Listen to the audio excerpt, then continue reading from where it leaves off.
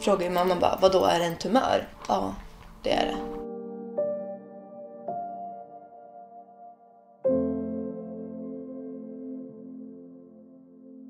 Innan jag tappade håret, allt var fel på mig. Jag var så ful, jag hade stor näsa.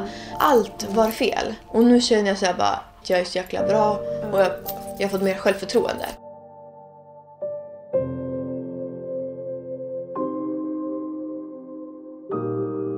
Så när jag fick reda på att jag var sjuk, det var liksom så här, jag ska skaffa blogg. Jag ville visa folk, det är fortfarande samma saga.